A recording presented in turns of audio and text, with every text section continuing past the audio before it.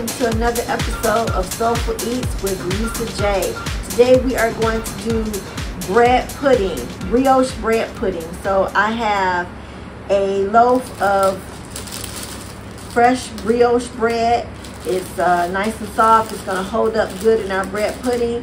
It's going to give our bread pudding another little bit of a twist on it instead of having regular bread. I don't know if you've ever tried this but it's going to be really, really different for us today. And I've tried this before. It, it has come out pretty good. So we're to try that today. I have four eggs. I'm to put two cups of milk, some cinnamon, nutmeg, vanilla, sugar, and salt. We're to mix all of our ingredients in, in this bowl here, our wet ingredients. We want to cube our brioche bread. So I'm getting ready to cube this up now. And you also want to grease your baking dish. If you don't grease your baking dish, guess what? Your bread pudding is to stick in there. So we're going to grease this with some butter, put our bread in here, and then we're to put our wet ingredients inside of there and let it bake. So then just hang tight. We're to get the bread cubed up, and I'm to show you how it's to look. Okay, so I've cracked my four eggs here. I'm to place that in my mixing bowl like this. To this, we're going to add two cups of milk I just have plain 2% milk. If you use whole milk, it's not going to make a difference. Whichever milk you choose, that's your that's your choice. But I'm using 2% milk. Two cups of milk.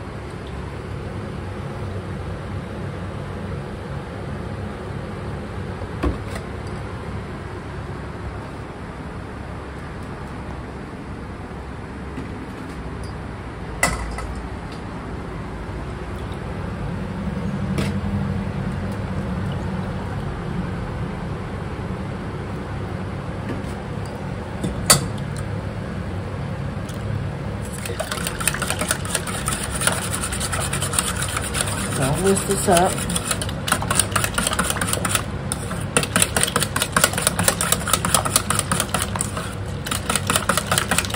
So it's a nice consistency like this. Now, to this, we're going to put in one tablespoon of vanilla. Okay, so I've preheated, started to preheat my oven at 350 so it can get hot to the egg and the milk mixture, I'm going to put in one tablespoon vanilla. Okay.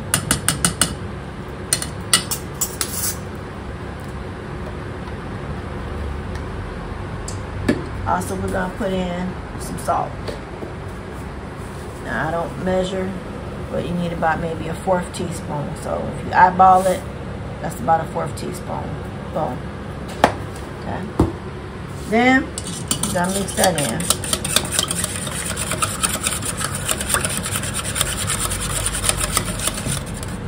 Also gonna need some cinnamon and some nutmeg.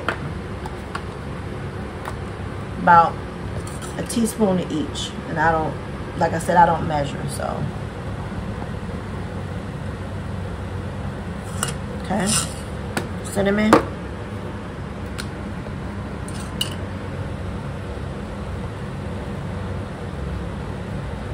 Nutmeg. Now, not everybody puts nutmeg in their bread pudding. Some people just put the cinnamon. Me, I like cinnamon and nutmeg. I like to give it that fall taste.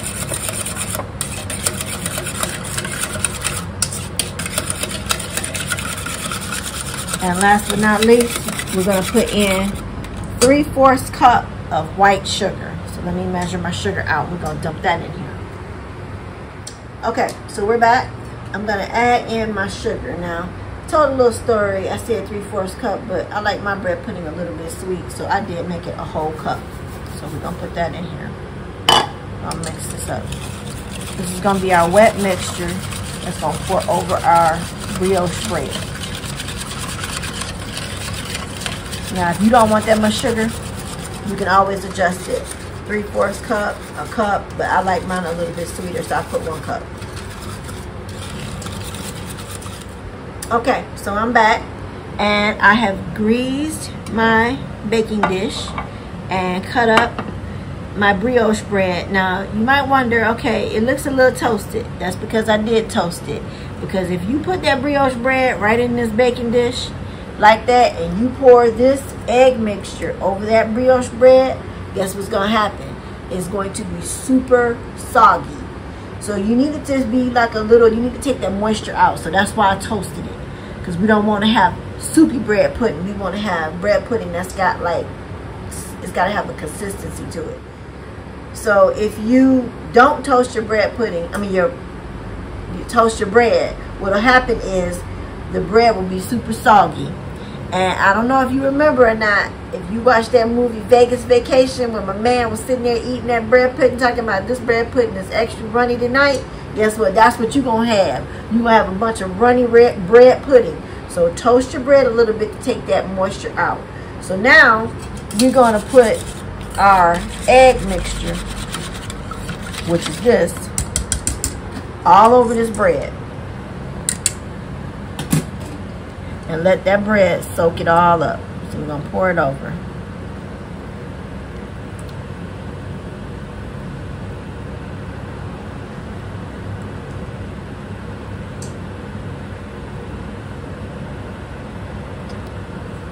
You might say, Lisa, that looks like a lot of mixture. Well, guess what? You got a lot of bread. So what you want to do is you want to get a fork. You want to soak that up. To push your bread down like that so it'll soak up. That bread all down in that egg, egg and milk mixture. Because guess what? The bread is going to absorb the liquid and when it bakes, it's going to puff up So it's gonna cook. It's like a custard. But guess what? I'm not finished. Because in my bread pudding, I like to add a little butter. And I'm gonna do that in one minute. So let me get this soaked up and we're gonna put some butter on top. So somebody asked me if you add more bread, what will that do? That's going to make your bread pudding gummy. And it's to be like eating paste. So you go according to the directions of the recipe or you're going to mess your bread pudding up. So I have about eight slices of brioche bread that I toasted and cut into cubes. If you want to use more, you can use more, but you're going to have to get a bigger pan because you don't want your bread pudding to be gummy. So now you can see the liquid is starting to absorb into the bread and now we're going to put a little bit of butter.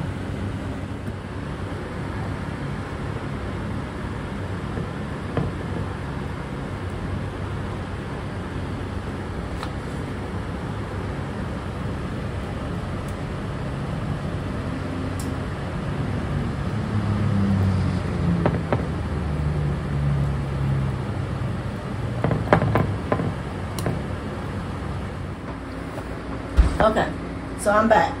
So I preheated my oven to 350. We're gonna bake our bread pudding, which is here, for one hour. I put little pats of butter inside of my bread pudding. You say, well, Lisa, you already put butter in the baking dish to grease it.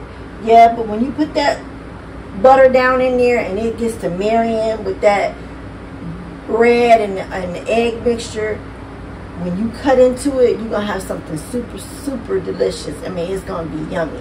So that's why I always put butter in mine. It makes it more decadent, more rich.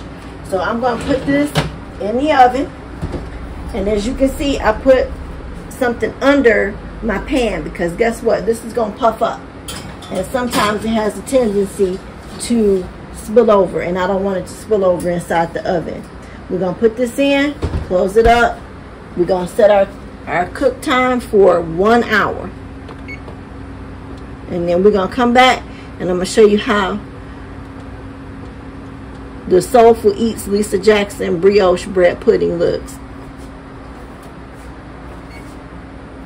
Stay tuned.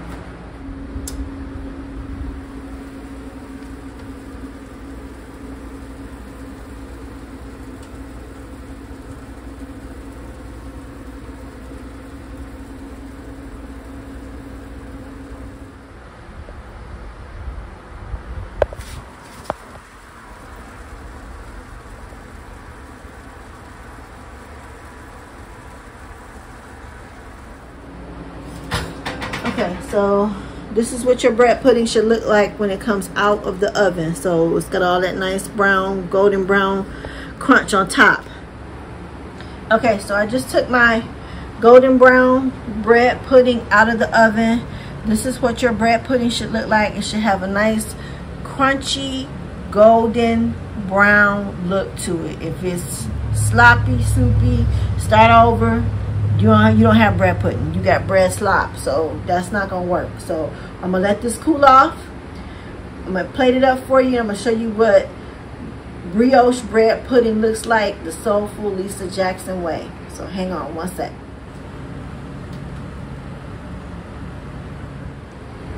Okay, so we're back and our bread pudding is all done. Our soulful brioche bread pudding, golden brown, nice and sweet. And I put, I topped it with a little caramel and I put a little ice cream on the side. So you decorate yours or you put whatever you like if you want to eat it plain. You can eat it plain, but I like mine, you know, with a little pizzazz. I have me a little scoop of ice cream here. Also, as a little a side caveat, most people say, Lisa, you did not put raisins in your bread pudding. Well, guess what? Lisa don't like raisins. I don't like raisins, so I didn't put them in there. So if you want raisins, be my guest, put raisins in yours. Um, most people do put raisins in their bread pudding, but I don't. So, as always, I wish you a really nice night. Have a great night, and thanks for watching. As always, like and subscribe and leave comments on my uh, message board if you want to see anything else. Thanks and have a great evening.